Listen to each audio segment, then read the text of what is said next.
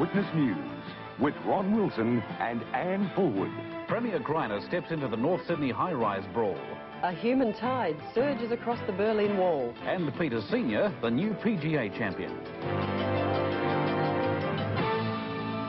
Also tonight, a patient lives but a police officer dies in a heart transplant drama.